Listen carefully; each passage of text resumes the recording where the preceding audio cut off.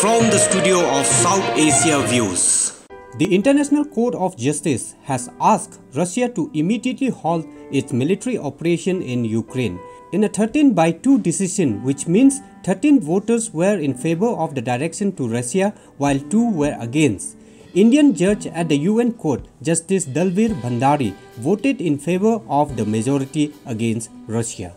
The Russian Federation, pending the final decision in the case, must immediately suspend the military operation. Its commenced in the territory of Ukraine on February 24, 2022, the order of the UN court said. The rulings of the International Court of Justice are binding that there have been cases where countries have ignored them as International Court of Justice has no direct means of enforcing its orders. In this regard, the court takes note of the 2 March 2022 resolution of the General Assembly of the United Nations, which inter alia, I quote, expresses grave concern at the reports of attacks on civilian facilities such as residences, schools, and hospitals, and of civilian casualties, including women, older persons, persons with disabilities, and children, recognizes that, that the military operations of the Russian Federation inside the sovereign territory of Ukraine are on a scale that the international community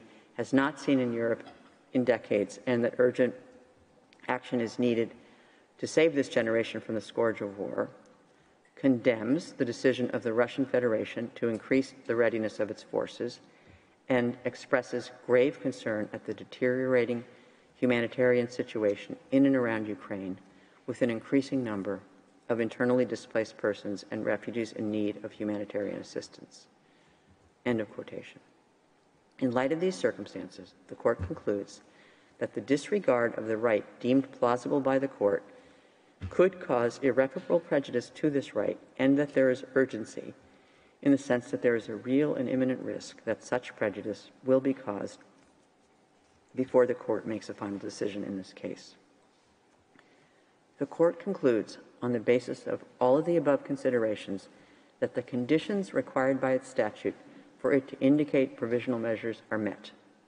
It is therefore necessary, pending its final decision, for the court to indicate certain measures in order to protect the right of Ukraine that the court has found to be plausible.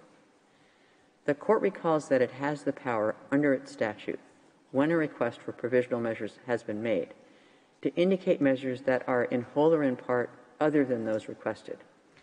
Article 75, paragraph 2 of the Rules of Court specifically refers to this power of the court. The court has already exercised this power on several occasions in the past. In the present case, having considered the terms of the provisional measures requested by Ukraine and the circumstances of the case, the court finds that the measures to be indicated need not be identical to those requested.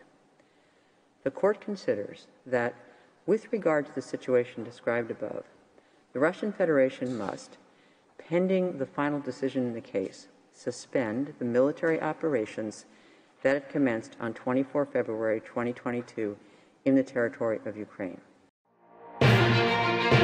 From the studio of South Asia Views.